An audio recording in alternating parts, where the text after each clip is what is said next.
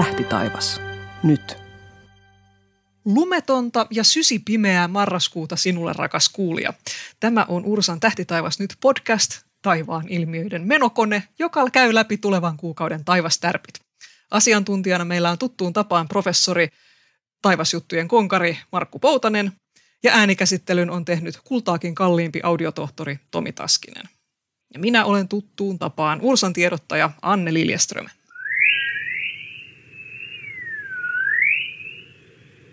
Niin se on marraskuu jo käsillä ja jos pilvisyys jätetään huomioimatta, niin näinhän se on, että kun yöt pitenee, niin pidot paranee. Täytyy jotenkin kääntää tämä marraskuukin voitoksi.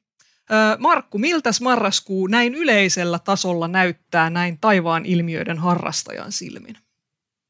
Kyllähän tämä aika hienoa aikaa olisi, jos me nähdään se tähtitaivas. Tässä vaiheessa vielä, kun tätä äänitystä tehdään, niin kaikki on mahdollista.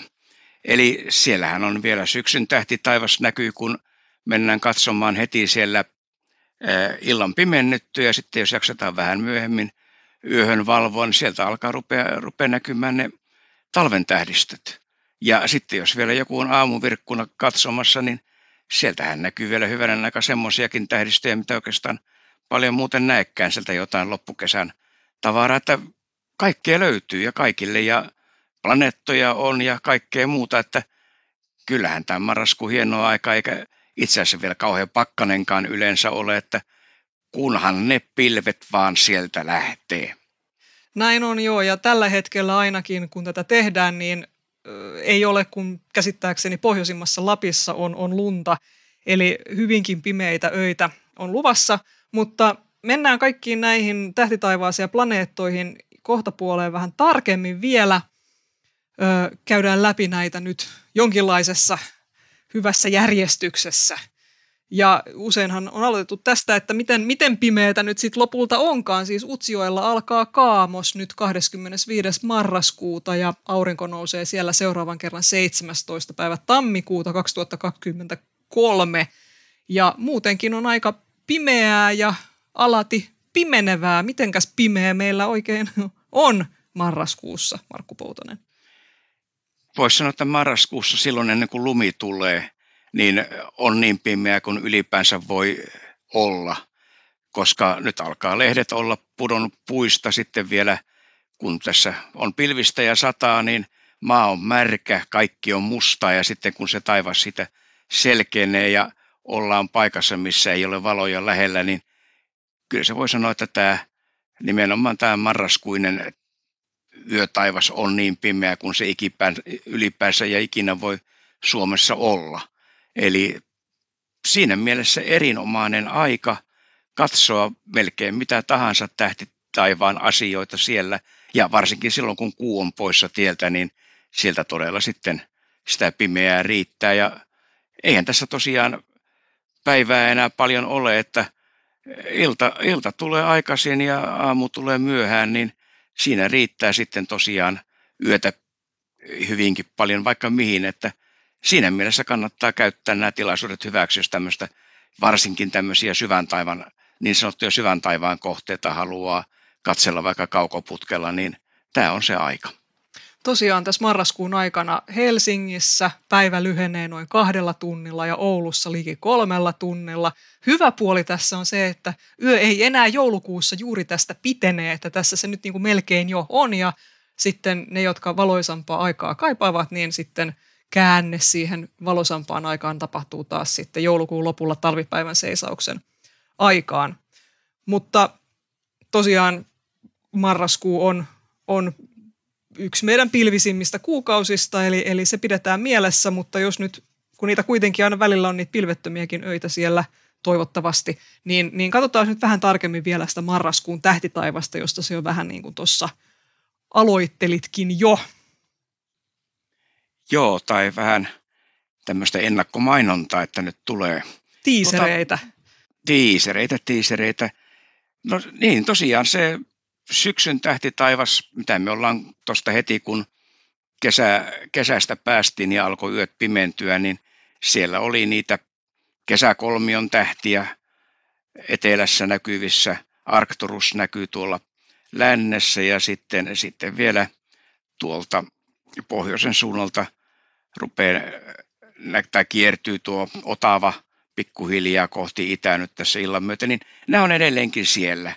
Ja, ja ne näkyy sitten, kun ilta pimenee yhä aikaisemmin ja aikaisemmin, niin ne sieltä sitten vielä löytyy. Mutta sitten tosiaan, kun mennään tuonne iltauutisten jälkeen sinne 10-11 nurkille, niin sittenhän siellä on jo kaikenlaista. Siellä Jupiter on korkealla, tai ei mitenkään korkealla, mutta hienosti näkyy kirkkaana tuolla etelän suunnalla. Sehän näkyy jo kohta illan pimentymisen jälkeen rupeaa tuolta idästä nousemaan ja se on semmoinen, mikä nyt pistää silmään planeetoista. Ja, ja sitten tuota, sieltä tulee myöhemmin vähän tulee puoleen yön mennessä Mars alkaa näkyä hienosti, että nämä on ne planeetat, mitkä näkyy yöllä ja sitten tosiaan tähtikuvioista härän tähdistö sieltä nousee idän suunnalta ja siellä on plejaadit, siellä on hyadit, nämä avonaiset tähtijoukot, mitkä esimerkiksi Kiikarilla on ihan hienoja kohteita ja kaikkea tämmöistä sieltä tosiaan nyt kannattaa sitten bongata. Ja niin oikeastaan se, mikä meni sinne unohtaa. Ja, ja tuota, nimenomaan tässä myöhäissyksyn tai syksyn ja myöhäissyksyn iltoina ja öinä, niin Andromeda-galaksi. Tämä meidän linnunratamme lähin naapuri, joka näkyy nyt aika kivasti tuolla, no käytännössä melkein etelän suunnalla. Ja sitten siitä kun nostaa katsensa vähän, niin tuossa myöhemmin illalla suunnilleen melkein länsi, itä-länsisuunnassa, niin tämä meidän oma linnunrata näkyy semmoisena vyöhykkeenä ja nimenomaan tähän aika vuodesta on se, jolloin sitä linnunrataa kannattaa katsella, että tässä ehkä nämä, voisi sanoa tämmöiset ensimmäiset tärpit. Ja siellähän nyt sitten alkaa tosiaan jo iltayöstä, siellä on noussut Orion, jonka tiimalasimuodon moni tunnistaa ja sen kolmen täh- rinnakkaisen tähden muodostaman vyön. Ja sitten myöskin tämä julma tuikuttaja Sirius, pienen koiran Sirius, siellä myöskin on noussut horisontti yläpuolelle ja on suunnilleen idän puolella. Mutta mitä sä sanoit jotain aamu, aamuyön tähtitaivaasta? Oliko siellä jotain vielä poikkeusjuttuja havaittavissa? No joo, siis siellä, siellä tosiaan sitten näkyy näitä tähtitaivasta semmoisena, kun se olisi tuolla jos kevään iltayönä, eli maalis, maaliskuun, huhtikuun iltaöisiä tähtitaivaita. Että se on sitten ihan siellä vähän ennen aamun sarastusta, mutta kun tuon Siriuksen tuossa äsken sanoit, niin itse asiassa tässä juuri viime yönä oli selkeää siinä ja mitä hän liian ollut kello. Olisiko ollut jotain viiden nurkilla, kun vilkasin ikkunasta ulos, mikä se siellä tuikkii, niin no sehän se. Sirius siellä oikein komeasti vilkutteli sitten siinä näkyy, näkyy. Ja se on tosiaan semmoinen niin kirkas ja lähellä yleensä taivaan ranta, että aina kun ilmakehä on vähänkin rauhaton, niin sehän tuikkii oikein komeasti, että siitä sillä tavalla kyllä herättää aina huomiota. Sä olet ollut viideltä aamulla hereillä. Tekee mieli kysyä miksi, mutta älä kerro. Mutta tässä on siis nähtävissä... Voin, voin kertoa. Kellossa luki 505, eli se voi lukea SOS, ja oliko sitten hätä? Tota, eli tässä voi ajatella sillä marraskuussa, että jos haluaa olla hyvin aikaisin aamulla hereillä syystä tai toisesta, niin ainakin voi ajatella sen sillä lailla, että siinä voi samalla katsella sellaista tyypillistä kevätillan tähtitaivasta. Kyllä, jos ei kevätiltana viitsi mennä katsomaan, niin voisi tosiaan marraskuisena aamuyönä painella ulos ja katsella silloin. Kun nyt on pimeydestä puhuttu, niin, niin useinhan sitten se, mikä siellä öis, öitä sitten valaisee, on meidän kuumme. Ja nyt meillä on marraskuussa vähän enemmän kuusta puhetta. Tässä voisi ehkä sanoa, että tietyllä tavalla tehdään nyt kärpäsestä vähän härkästä tässä, kun tilaisuus on. Jos mä vähän tähän kerron pohjalle, nyt 25.10 joka on podcastia äänitettäessä huomenna. Emme tiedä vielä, näkyykö se missään vai ei, mutta joka tapauksessa periaatteessa 25.10. koko maassa tapahtuu osittainen auringonpimennys. Ja siitä sitten äh, taivaallisen kellokoneiston lakien mukaan noin kahden viikon jälkeen sitten seuraa täydellinen kuun pimennys, tai se on mahdollista tapahtua. Ja näin käy, joskin se näkyy Suomessa tosi heikosti, mutta puhutaan tästä ihan kohta lisää. Mä ajattelin, että voisi vähän tälleen niin kuin vääntää rautalankaa näistä kuun pimennyksistä ja kun tässä nyt on semmoinen, kun itse, itse pimennyksestä ei tarvi kauheasti puhua, niin, niin minkälaisessa tilanteessa nyt siis kuun ja auringon pimennyksiä tapahtuu? Kuun pimennys tapahtuu aina sitten täysikuun aikaan ja se johtuu tosiaan siitä, että kun kuu radallaan joutuu maan varjoon, eli aurinko jää sitten kuusta nähtynä maan taakse, niin silloin se aurinko ei valaise kuuta ja silloin se kuun, kuu pimenee siellä, tosin kyllä maan ilmakehän kautta sitä valoa sitten vähän sirottuu ja taipuu sinne kuuhun, että se näkyy semmoisena punertavana, että se ei kokonaan tietysti katoa taivaalta siinä joutuessaan maan varjoon. Ja se, minkä takia tämä ei tapahdu joka kuukausi, jokaisen täyden kuun aikaan, johtuu siitä, että kuurata on pikkasen kallellaan, viitisen astetta kallellaan tuohon maan rataan nähden. Ja ainoastaan niinä tiettyinä kertoina, kun kuu sattuu olemaan siinä radallaan juuri sitten täyden kuun hetkellä siinä lähellä sitä maan ratatasoa, niin silloin se joutuu sinne maan varjoon. Et sen takia näitä tapahtuu noin kaksi kertaa vuodessa. Ja niitä voi tapahtua joko niin, että se on yksi ennen sitä auringonpimennystä ja toinen sitten kaksi viikkoa sen auringonpimennyksen jälkeen tai sitten niin, että se on vain ennen tai jälkeen, että tämä vähän vaihtuu, vaihtelee sitten millä tavalla se menee, mutta, mutta sitten auringonpimennys ihan samalla tavalla sitten kuun täytyy olla sitten siellä uuden kuun aikaan täsmälleen maasta nähtynä auringon suunnalle, jolloin se kulkee auringon editse. Ja kun nyt sattuu niin kivasti, että kuu ja aurinko maasta katsottuna näyttävät taivaalla suunnilleen yhtä suurilta, niin silloin se kuu pystyy peittämään tätä koko auringon, että tämä on sillä tavalla oikea, tämä on tämä meidän maan ihmisten etu, jos me asuttaisiin Marsissa, niin Marsin kuut eivät aiheuttaisi mitään näkyvää auringonpimennystä, koska näkyisi vain semmoisena pienenä mustana läiskänä siinä auringon ylitse kulkevan, että siinä mielessä tämä on oikein oikein hieno paikka asua tämä maapallo. Mittatilauspaikka. No tämä marraskuun täysikuu ja tämä kuun pimennys tapahtuu kahdeksas päivä marraskuuta ja siitä kun laskee pari viikkoa sitten eteenpäin, niin siitä saadaan sitten pimeiden ja kuuttomien öiden ystäville tiedoksi, että uusi kuu on 24. marraskuuta. Ja kuu on tosiaan päivätaivaalla auringon suunnalla. Ja nyt mä ajattelin, että tämä on niin vaikeaa ilman kuvaa selittää, mutta yritetään. No, aurinko valaisee, se valaisee koko aurinkokuntaa, se loistaa joka suuntaan. Ympärillään samalla se valaisee maapalloa. Ja kun me kävellään täällä auringon maapallon pinnalla aurinkoisena päivänä, niin meistä lankeaa maahan varjo. Kaikki nyt on varmaan havainneet sen. Ja näin käy sitten maapallolle ihan joka hetki, eli maapallokin heittää avaruuteen taakseen varjon, kun aurinko valaisee sitä. Ja nyt se, mitä on ehkä hankala havaita ja ymmärtää ihan tarkalleen ottaen se, että tässä maapallon varjossa on itse asiassa kaksi osaa, ja niillä on kuumpimennyksissä oma roolinsa. Öö, nämä kaksi varjoa on sisäkkäin sillä lailla, että on ulompi, se on semmoinen ulospäin levenevän kartion muotoinen – ja se on nimeltään puolivarjo. Ja puolivarjon sisältä, jos katsotaan auringon suuntaan ja maapallon suuntaan, niin sieltä näkee edelleenkin osan auringosta sieltä maapallon takaa. Mutta sitten tämän varjosysteemin ytimessä, sen puolivarjon keskellä, on tämmöinen ulospäin kapenevan kartion muotoinen täysvarjo, ja sen sisältä sitten ei enää näe aurinkoa, ja siksi siellä on merkittävästi pimeämpää kuin puolivarjon alueella. Ja tämän takia täydellisissä kuun pimennyksissä on aina kolme vaihetta alussa ja kolme lopussa. Eli puolivarjopimennys tapahtuu, kun kuu liukuu sinne maapallon varjoon puolivarjon alueelle. Tätä on hyvin vaikea havaita paljain silmin, koska aurinko edelleenkin valasee hieman sitä kuun pintaa.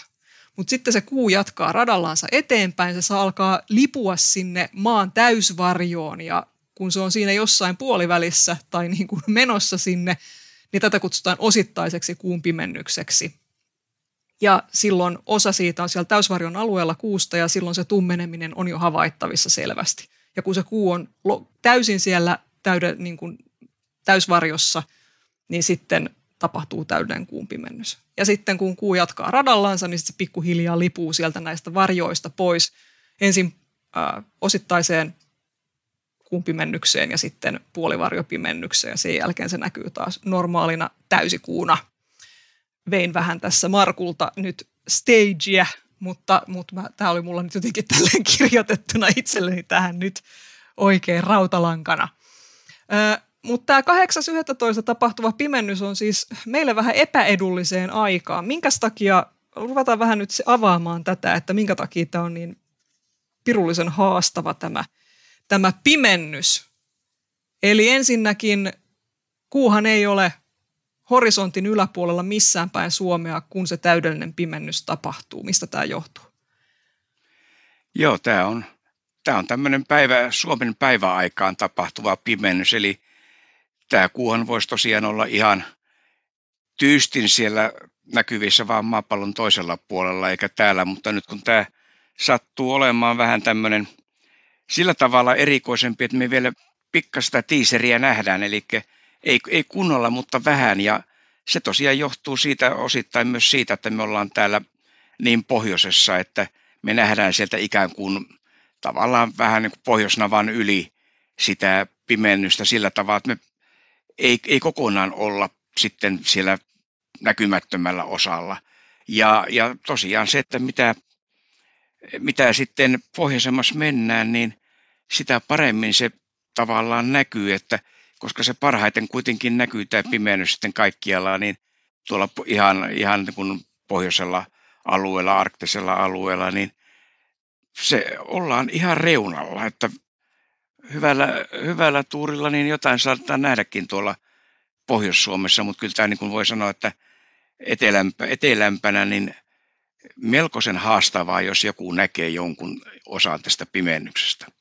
Näin on, että Helsingissä, Turussa ja Porissa, jos mä nyt poimin tällaiset isoimmat kaupungit siltä alueelta, niin siellä kuu on horisontin takana aivan koko sen pimennyksen ajan, eli näiltä alueelta ei voi nähdä tästä pimennyksestä yhtään mitään. Sitten lähdetään tonne koilliseen etenemään tästä linjasta, niin aina tonne Savukoski Tromssa linjan tietämille asti, niin voidaan nähdä ihan sen kuumpimennyksen lopun puolivarjovaihetta. Eli just sitä vaihetta, mikä on erittäin vaikea nähdä paljain silmin. Ja sitten vasta kun päästään tonne ikään kuin Utsjoen ja Inarin tienoille suunnilleen, niin siellä sitten voidaan nähdä ihan sen ää, kuumpimennyksen lopun osittaista vaihetta. Ja tämähän on sillä lailla haastavaa, että se kuu nousee sen pimennyksen aikana siellä, missä pimennys ylipäätään on käynnissä, kun kuu nousee vielä. Ja silloinhan kuu on ihan tosi matalalla siellä horisontissa, että se tekee siitä vielä vähän vaikeampaa havaita. horisontissa on usein e, kaukaisia pilviä estämässä näkymää sinne. Ja kuten tässä on jo vähän märehditty, niin marraskuu on tosiaan yksi meidän pilvisistä kuukausistamme, että se voi hyvin olla, että siellä on pilviä joka tapauksessa, mutta jos nyt haluaa näkeä Suomesta tämän niin kuin parhaimmillaan tämän pimennyksen, niin käytännössä pitäisi lähteä Utsjoelle. Siellä olisi niin kuin parhaat maisemat. Täydellisenä Kyllä. tämä pimen... Sano vaan. Joo, kyllä, ja, ja nimenomaan sitten vielä, kun se on siellä taivaanrannassa, kun se muutenkin on punertava se nouseva kuu, niin eihän sitä sitten erota, että mikä punerus siellä on sitä mahdollista puolivarjoa ja mikä punerus on sitten, sitten sitä taivaanrannasta muutenkin olevaa punerusta, että se niin kuin tekee vielä entistä vaikeammaksi siinäkin mielessä. Kyllä. Kyllä se osittainen vaihe tietysti, että se kuu on vähän niin kuin mustunut oikeastaan joltain äh, reunaltansa siinä, mutta tota, mut joo, ei tämä niinku helppoa tämä ei ole. Täydellisenä tämä pimennys näkyisi Itä-Siperiassa, Pohjois-Afrika, ei kun Pohjois-Amerikan länsiosissa ja pohjoisella jäämerellä. Eli sinne voi tietysti sitten halutessaan matkustaa. Huippuvuoret voisi olla ihan tämmöinen, mistä, mihin Suomesta pääsee helposti vielä. Joo, näin voi ha- ha- harkita, että haluaako, haluaako sen tehdä. Suomen aikaa pimennys alkaisi heti kymmenen jälkeen aamulla mutta koska kuun nousu rajoittaa tätä näkemistä, niin pimennys alkaa meille kuun noustessa. Jos alkaa, Utsjoella kuun nousee kello 14.11 ja Oulussa kello 15.20. Pimennys päättyy kello 15.56 ja Helsingissä kuu nousisi vasta 15.58, eli meiltä se tosiaan on nyt kielletty. Mutta tällaisia pimennyksiä toisinaan näkyy, kyllä tämä pitää mainita sillä lailla, että joku, joku siitä saattaa vielä bongata itsellensä pimennyksen, jos lähtee pohjoiseen tai asuu peräti siellä. Ehkä meillä on sielläkin kuulijoita. Toivoisin niin. Mutta tässä jo vähän puhuttiin noista planeetoista tuon tähtitaivaan yhteydessä. Ne voisi ottaa ehkä vielä tälleen jotenkin keskitetysti. Tehdään tämmöinen planeetta keskitys tähän ja käydään läpi nämä planeetat. Mitäs meillä näkyy marraskuun taivaalla planeettoja? No ehkä se kaikkein voisi sanoa hienoin ja komein ja kirkkainen näkyvin on Jupiter. Sehän nousee tuolta idän suunnalta jo sitten, kun alkaa pimeää olla ja sitten kipua tuonne etelään jo ennen puolta yötä ja näkyy sitten pitkälle aamuyölle ja se on, se on käytännössä niin kirkas, että eihän sitä, siitä voi erehtyä ja ei tässä syksyn kuluessa varmaan yhden käden sormet liitä, riitä siihen, että kuinka moni on jo kysynyt, että mikä tuo on tuolla tuo kirkas tähti taivaalla ja sitten voi valistaa sitä, että se on Jupiter, planeetta. Et se, se näkyy, voi sanoa vielä käytännössä koko yön. Ihan, ihan aamun tunteja sitten lukuun ottamatta, jolloin se alkaa painua tuonne taivaanrantaan, mutta tilalle tulee Mars. Eli Mars sitten nousee myöhemmin yöllä ihan myös sieltä idän suunnalta ja, ja tuossa puolen yön jälkeen on, on etelässä ja joulukuussa sitten on oppositiossa, eli vastapäätä aurinkoa, jolloin sitten näkyy alkaa näkyä vähän aikaisemmin illalla ja on sitten puolen yön tuntumissa etelässä. Eli Mars ei ole yhtä kirkas kuin Jupiter, mutta kyllä se sillä tavalla tuolla kun härän tähdistön suuntaan katsoo, niin jos ei tähdistöjä tunne, niin se kivasti sekoittaa ne tähtikuviot, miltä ne näyttää, mutta on se sillä tavalla kirkasta, ei sitä oikeastaan voi tähti sekoittaa, että siinä mielessä näkyy, että nämä on ne kaksi kirkasta, mitkä nyt näkyy yöllä. Merkurius, Venus, nämä aurinkoa lähempänä kiertävät planeetat, niin ne on nyt molemmat tuolla auringon suunnalla, että sieltä ei oikeastaan niitä kannata, nä- kannata yrittääkään, ei ne, ei ne näy. Mutta sitten on vielä semmoinen, niin oikeastaan iltayön tunteena tai illan tunteena, kun pimeys tulee, niin Saturnus näkyy vielä tuolla hyvin matalalla etelässä ja menee tuonne lounaan suuntaan, laskee sinne, että mutta se on todella, Saturnus on matalalla, että se vaatii sitten taas jo hyvät näkyvyydet tuonne taivaanrantaan saakka. Se on myös sillä tavalla kirkas, että kyllä sen sieltä löytää, mutta ei se silmiinpistävä ole. Et tässä nyt nämä paljaan silmin näkyvät ja sitten jos tietysti ihan heittää vielä tuosta sen, että Neptunus näkyy lähellä Jupiteria, pikkasen Jupiterista länteenpäin ja Uranus on tuossa sanoisiko puolivälissä Jupiterin ja Marsin väliä oppositiossa näihin aikoihin, niin niiden näkemisen tarvitaan kiikari tai kaukoputki ja kohtuullisen hyvä hakukartta, että tietää ja näkee ja osaa löytää se, missä se on, että ne ei mitenkään sillä tavalla erotu sitä tähtien joukosta, että se vaatii just jonkun verran vähän enemmän oppimista ja osaamista ja, ja tähtitaivaan tuntemusta, että ne sieltä löytää. Mutta tietysti sillä lailla, että nämä on jos nyt taas se pilvisyys lasketaan pois luvuista, niin Uranus ja Neptunus on tällä hetkellä ikään kuin tosi hyvissä asemissa. Eli, eli jos ne havaintovälineet löytyy, niin sillä lailla tämä on nyt hyvä hetki niitä havaita. Ja Joo, tuli... niin on nimenomaan, enkä, enkä muuten olisi maininnutkaan. Mutta se pitää kertoa, että taisin jo viime kuun jaksossa tästä hehkuttaa, koska itse tykkään tuosta Veenuksesta kovasti – niin, niin se on tosiaan joulukuussa sieltä sitten alkaa pikkuhiljaa kohota iltataivaalle ja kun tuossa ensi vuoden taivaan tapahtumia jo vähän niin kuin sillä silmällä katselin, niin maaliskuussa meillä on taivaalla Jupiter ja Venus lähekkäin. Sillä lailla ne on molemmat tosi kirkkaita ja Venus vielä erityisesti, se on vieläkin kirkkaampi kuin se Jupiter siellä tällä hetkellä, joka on tosi kirkas. Eli, eli se on kyllä kiva näky. Tuota, varmaan palataan tähän sitten Kyllä. vuodenvaihteen jälkeen, mutta voin tässä jo etukäteen tiiserinä kertoa, että on joskus aikanaan koululaisena, taisin olla kouluaikana, niin tuota, juuri tämmöisen vastaavanlaisen tilanteen, missä Jupiter ja Venus olivat lähekkäin, niin nähnyt, nähnyt sitten niiden heittämän varjon. No niin. Eli ei pelkästään aurinko tai kuu aiheuta varjoa, mutta kyllä nämä kirkkaat planeetat, kun on, on tarpeeksi pimeää, ei ole mitään häiritseviä valoja, niin, niin voi nähdä myös niiden heittämän varjon. Että tämä on ihan omin silmin todettu aikanaan. Joo, ja Venus kai ihan, jos on tosi pimeät olosuhteet, niin se yksinäänkin riittäisi, mutta Jupiter tietysti auttaa kyllä. Kyllä, kyllä. Hyvä. Eli kaikki pitää nyt mielessä, että maaliskuulla sitten Jupiter ja Venus ottaa matsia. Odotamme sitä innolla, mutta tässä vielä ihastellaan sitä Jupiteria nyt tässä. Se, on, se ei ole vielä saanut haastajaa. Tässä on muutamia tällaisia kuun aiheuttamia planeettakohtaamisia tässä marraskuussa. Ensimmäinen 11. kasvava kuperakuu koukkasee Saturnuksen eteläpuolelta ja sitten ihan kuun lopussa 29.11. se ohittaa Saturnuksen itäpuolelta. Tietysti niin kuin tässä Markku jo sanoikin, niin Saturnus ei ole kauhean huomiota herättävän kirkas nykyisellään, mutta yhdessä ne siellä killuvat silloin. Ja sitten 4-5.11. niin kuu on lähellä Jupiteria taivaalla. Eli jos tämmöiset kimpat kiinnostaa, niin kannattaa sitten olla silloin valmiudessa ihastelemassa tai valokuvaamassa niitä.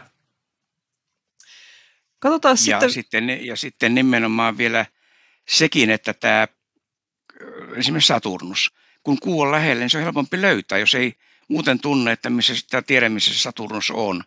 Ja löytää sen kuun sieltä ja sitten sen perusteella hyvin äkkiä pystyy bongaamaan, että aha, tuo kirkkaampi kohde tuossa lähellä kuuta, niin tuo on sitten se Saturnus. Niin tällä tavalla löytää näitä, näitä himmeämpiäkin sitten ja sitten tuota vielä oikeastaan sanotaan näitä vielä himmeämpiä, niin kuin hyvä esimerkki on tuon Uranus, mikä nyt taas sattuu todella huono tuuri siinä mielessä, että, että Uranus peittyy kuun taakse silloin osittaisen kuumpimennyksen jälkeen ja olisi ollut kiva, mutta kun se ei Suomesta näy. Näinpä. Se olisi aika mainiota kyllä. Katsotaan vielä vähän noita tähdenlentoparvia. Ne ei ole marraskuussa mitenkään mojovia, mutta, mutta kyllä sieltä pari löytyy. Mitäs, mitäs me, minkäs tyyppistä tähdenlentotarjontaa meillä on marraskuussa? Siellä on kaksi parvea, tauridit ja leonidit. Ja tauridit on se ensimmäinen näistä, eli tuossa 12 päivän tienoilla on sen aktiivisuushuippu, mutta niitä ei sitten kovin monta tunnissa näy, että muutama, mutta se oikeastaan tämä, nämä tauridit on siinä mielessä mielenkiintoinen, että siihen liittyy aika usein tämä kirkkaita tulipalloja. Että jos niitä lähtee bongaamaan, niin tässä tauridien maksimin ympäristössä voi olla ehkä vähän keskimääräistä paremmatkin mahdollisuudet nähdä näitä kirkkaita tulipalloja taivaalla. Että siinä mielessä sitä kannattaa seurata siinä 12 päivän paikkeilla, mutta sitten vajata viikkoa myöhemmin, niin, tai noin viikkoa myöhemmin, on tämä Leonidien tähdenlentoparvi 17 ja 18 päivän välisenä yönä, niin on se maksimihetki ja sitten saattaa tulla toinen aktiivisuushuippu siinä seuraavana yönä 19. päivä. Ja nämä Leoninit on siinä mielessä mielenkiintoinen parvi, että se normaali vuosina se ei ole mitenkään kauhean aktiivinen. Se on ne muutama tähdenlentoa, kymmenkunta tähdenlentoa tunnissa keskimäärin siinä maksimin aikana. Ja 33 vuoden välein se mokoma kirkastuu tai aktivoituu niin, että siellä on sitten tämmöinen oikea, voisi sanoa tähtisade. Mutta nyt me ollaan juuri oikeastaan siinä puolivälissä tätä 30 vuoden jaksoa niin, että ei siltä mitään tällaista ole odotettavissa, mutta siinä mielessä tätä Leonidia kannattaa pitää mielessä ja silmällä, että eihän tästä kauhean kauan enää ole, kun me ollaan siinä 15 vuoden päässä ja sen jälkeen taas voi olla pari vuotta oikein kunnon pommitusta tuossa marraskuussa kunnon pommitusta. Hei, sä mainitsit tulipallot tuossa aikaisemmin ja mulla tuli mieleen, että kannattaisiko vielä vähän kerrata, että mistä me puhutaan, kun me puhutaan tulipalloista, koska meille se on jotenkin itsestäänselvyys, mutta aina välillä siitä kyllä kysellään, että mistä niissä itse asiassa on kyse. Joo, ihan samaa, samaa tavaraa ja samoja tähdenlentoja, mutta se on vähän isompi kappale, joka ilmakehän tullessaan sitten niin aiheuttaa oikein kunnon valoilmiön, että, että jos me puu lähdetään tämmöistä hiekanjivään kokoisista – normaali tähdenlennoista ja päädytään sitten tuommoisen parhaimmillaan vaikka johonkin jalkapallon kokoiseen mönttiin, mikä aiheuttaa sitten oikein kunnon hienon valoilmiön niin, ja, ja kaikkea siltä väliltä. Eli tavallaan tämä puhutaan tulipalloista silloin, kun se on semmoinen kirkas, todella kirkas tähdenlento, joka on huomiota herättävää. Ja sitten usein siihen liittyy, saattaa liittyä, että sinne, sinne jää jälkeen joku tämmöinen vana, savuvana, eh, joka näkyy sitten siellä hetken aikaa. Ja sitten se voi olla kadota tai hajota tai nähdään se hajoaminen sitten, että niitä on hyvin monenlaisia, mutta se oikeastaan ihan tämä perusnimitys vaan tulee vaan siitä, että se on sillä tavalla kirkas ja kirkkaampi kuin tyypillinen tähdenlento, että se todella nimensä mukaisesti sitten näyttää tämmöiseltä taivaalla olevalta tulipallolta tosiaan minä tahansa yönä, kun on vaan malttaa olla riittävän pitkään ulkona, ei ole pilvistä ja ehkä vielä kuukin sieltä puuttuu, niin voi tosiaan nähdä 5-15 tähdenlentoa tunnissa. Eli sillä lailla esimerkiksi otetaan noita tauridit, niin kun niitä voi nähdä muutama tunnissa, niin jos sen maksimiyönä näkee jonkun tähdenlennon, niin se todennäköisesti ei ole tauridi, vaan, vaan ihan tämmöinen niin sanottu satunnainen tähdenlento. Mutta niitä kannattaa sieltä kuitenkin kytätä. Ja sitten jos sattuu näkemään tähdenleno, joka tulee taurus, härkä, härän suunnalta, niin se saattaa sitten olla tauridi. Ja sitten sama juttu Leonidien kanssa, Leo, leijona, leijonan tähtikuvion suunnalta tulevat leonidit. Niitä voi yrittää sitten tunnistaa tunnistaa siellä. Mutta mennään vielä, nyt ollaan jo laskeuduttu suunnilleen ilmakehään näiden meteorien kanssa, joten, joten katsotaan vielä, että mitä, mitä ilmakehän ilmiöitä meillä on tyypillisesti marraskuussa, paitsi pilviä. Paitsi pilviä, jotka on tyypillisiä ilmakehän ilmiöitä, ilmiöitä marraskuussa, mm, mutta mm. tuota, eh, no pilvi, jos jatketaan tällä pilviteemalla, niin helmiäspilvet. Ne on tämmöisiä voisi sanoa niin kuin tyypillisiä keskitalven eh, ilmiöitä. En, no, ennen auringon nousua ja auringonlaskun jälkeen näkyy sitten eh, tämmöisiä helmiäisen hohtosia, värikkäitä, vaaleita pilviä. Ja ne on, voisi sanoa, että yksi semmoinen, silloin kun se tämmöinen helmiäspilvi näytelmä äityy oikein hienoksi, niin se on kyllä todella upean näköinen, jos on tämmöinen pinkin värinen taivas tuolla jossain lännen suunnalla auringonlaskun jälkeen. Ja e, marraskuussa niitä ensimmäisiä helmiäspilviä joskus alkaa näkyä. Et marraskuun ei vielä mikään tyypillinen helmiäspilvi kuukausi ole, että mennään tuonne joulukuulle, tammikuulle, niin niitä sitten yleensä näkyy enemmän, mutta se vaihtelee se näkyvyys. Ja nyt tietysti viime vuosina niitä näytelmiä on ollut aika hienojakin ja, ja ne on tuolla korkealla osittain vesijäätä, osittain sitten jotain ilmansaasteesta johtuvia. Niitä on vähän erityyppisiä sitten, mutta, mutta, mutta todella kannattaa sitten tuossa hämärän tultua katsella tuonne illalla lännen suuntaan ja aamulla sitten saattaa yhtä lailla näkyä sitten idän puolella ja aika usein voisi sanoa, että tyypillisemmin niitä on enemmän tuolla – näkyvissä Pohjois-Suomessa ja Länsi-Lapissa, mutta kyllä niitä ihan etelään myöten näkyy silloin, kun sopiva sää ja, ja tuuliolosuhteet sattuu. Joo, kyllä. Että kyllä niitä ihan Etelä-Suomessakin tällaisia kirjavan pastellin sävyisiä pilviä on näkynyt tosiaan eniten Pohjois-Suomessa, erityisesti Länsi-Lapissa. Niitä näkyy ja niin kuin Markku tuossa sanokin, niin tosiaan niitä on useampaa tyyppiä, voi rankasti, rankasti, raasti jakaa ne kahteen tyyppiin, eli on näitä tosi värikkäitä, tosi helmiäissävyisiä pilviä, jotka muodostuu pelkästään vesijäästä. Ne on täysin harmittomia, mutta sitten on vähän sellaisia hailakampia tapauksia, missä on sitten erilaisia otsonikatoa edistäviä ilmansaasteita. Ja niiden takia sitten tietysti helmiäispilvet on saaneetkin välillä vähän huonoa mainetta, mutta niistä kaikkein kauneimmista pilvistä saa kyllä ihan puhtain omin tunnoin nautiskella – mutta sitten revontuliahan on näkynyt nyt ihan tässä itse asiassa, tätä äänitetään maanantaina, just kuluneena viikonloppuna kaikista ennusteista ohi kiilasi sellaisia revontulia, mitkä nähtiin myös muun muassa ihan Virossa asti. Eli eiköhän niitä nyt sitten marraskuussakin näy? Kyllä näkyy varmasti ja, ja tuo auringon aktiivisuus, sehän on koko ajan tässä lisääntymässä pikkuhiljaa, että muutaman kolmen vuoden päästä, kun hän se oli ennustettu, on tämä maksimiaika. Ja tässä tulevina vuosina niin että revontulia kyllä näkyy.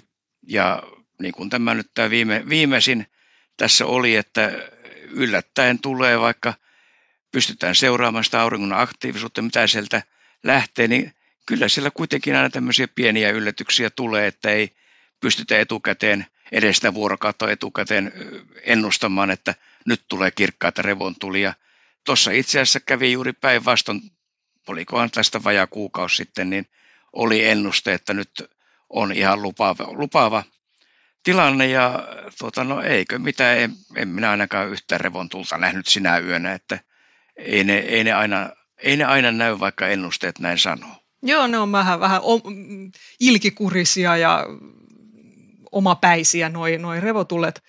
Öm, eteläsuomalaiselle hyvä tapa pysyä kärryillä tästä revontulitilanteesta on tietysti seurata Ilmatieteen laitoksen verkkosivujen avaruussääennustetta, mutta myöskin voi tilata sähköpostiin tällaisen revontulihälytyksen.